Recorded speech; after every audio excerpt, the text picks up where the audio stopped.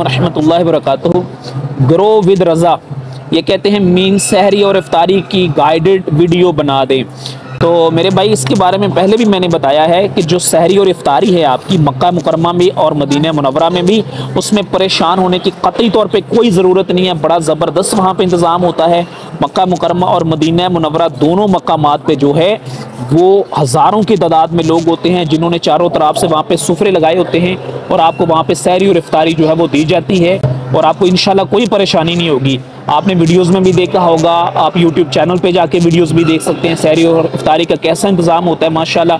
मस्जिद हराम, मक्का मुकरमा में हरम शरीफ के बाहर सुफरे लगे होते हैं। मस्जिद नबी शरीफ में देखे, चारों तरह में माशाल्लाह असर की नमाज़ के फ़ौरन बाद सुफरे लगने शुरू हो जाते हैं। हर तरह का खाना मिलेगा, हर तरह का फल मिलेगा, हर तरह की आपको वहाँ पे चीज़ मिलेगी। आपको इंशाल्लाह किसी किस्म की प्रॉब्लम नहीं होगी, किसी किस्म की टेंशन की ज़रूरत नहीं है। आप बिल्कुल रिलैक्स रहें, आपको हर चीज़ वहाँ पर वाफर मकदार में इंशाल्लाह मिलेगी। अपने जो फोकस करना है, वो बेसिकली इन मामला पर करना है कि वहाँ पे जाके अपने वक्त कैसे गुजारना है? क्योंकि ये वक्त बड़ा कीमती है। ये वक्त इंतहाई कीमती है। और अल्लाह ताला ने ये सादत उन चंद लोगों को दी है, जिन चंद लोगों को शॉर्ट लिस्ट किया, उनमें एक आप भी शामिल है। तो आप बड़े खुश बख्त हैं, बड़े खुश नसीब हैं, बड़े मुकदरों वाले हैं।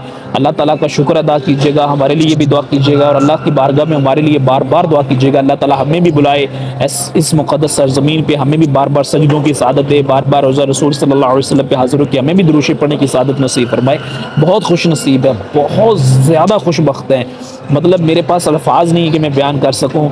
आप देखें कि हम लोग उस लिस्ट में शामिल नहीं हैं। जिस लिस्ट में आप शामिल हैं, जो लोग माशाल्लाह वहाँ पे जा रहे हैं खुश बख्ती की मराज है खुश बख्ती की इंतहा है, ठीक है? इन गुनागार आँखों से रोज़ा रसूल वसल्लम, इन गुन, इन गुनागार आँखों से जाके जब काबा का ज़्यारत करेंगे, इन गुनागार आँखों से जाके जब रोज़ा रसूल वसल्लम की ज़्यारत करेंगे, मुझे बताएँ, इससे बड़ी खुश बख्ती इससे बड़ी सआदत और इससे ज़्यादा खुशी का वक्त और इससे ज़्यादा खुशी का लम्हा ज़िंदगी में कभी आ सकता है। ठीक है? आप बड़े खुश नसीब हैं, बड़े खुश वक्त हैं। आप बस फोकस करें, तैयारी करें, सामान कौन सा लेके जाना है, कितना लेके जाना है, आपने अप्लाई कैसे करना है, रमज़ान मुबारक में अगर आपने मक्का मुकरमा में करना है। आप तो वहाँ पे फिर आपने अलहरमैन एप्लीकेशन आपने इंस्टॉल करनी होगी।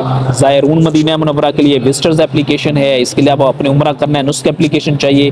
मक्का मुकरमा में और मदीना मनवरा में अगर आपने रज़तुलजन्ना में जाना है तो डेफिनेटली आपको नुस्ख एप्लीकेशन दे वहाँ भी परमिट लेना पड़ेगा।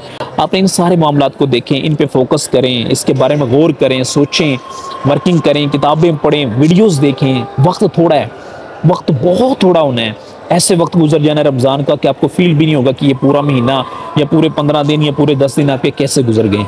ठीक है? मैंने मस्जिद नबी शरीफ में महीना गुजारा हुआ है, अल्हम्दुलिल्लाह। तो यकीन करें, वो वक्त जब याद आता है ना तो बस ना पूछें कि क्या कैफियत हो जाती है। आप बड़े खुश नसीब है, अल्लाह ने आपको बुलाया। आप बड़े खुश वक्त हैं कि आपको उस महबूब अलैहि वसल्लम के जिसमें मुअत्तर व मुअब्बर के इंतहाई क़ुर्ब में रहने का मौका मिल रहा है। सुबहान अल्लाह उन उन फ़ज़ाओं में साँसें लेने की सादत मिल रही है, जिन फ़ज़ाओं में अल्लाह के आखिरी नबी सल्लल्लाहु अलैहि वसल्लम ने सांस ली है, उनकी महक है, उनकी खुशबू फैली हुई है पूरे मदीना मनवरा में। उस सर ज़मीन पे आपने वक्त गुजारना है, खुश बख्त हैं, खुश नसीब हैं। हमारे लिए भी दुआ कीजिएगा, अल्लाह हमें भी बुलाए, हमें भी वो सादतें और वो रहमतें, वो बरकतें नसीब फरमाए। बहुत खुश नसीब हैं, बड़े खुश नसीब हैं माशा अल्लाह ताला हम सबको बार बार हज बैतुल्ला की सादत नसीब फरमाए। बार बार रोज़ा रसूल अलैहि वसल्लम पे हाजिर होकर दरुद पढ़ने की सादत नसीब फरमाए अस्सलाम वालेकुम रहमतुल्लाहि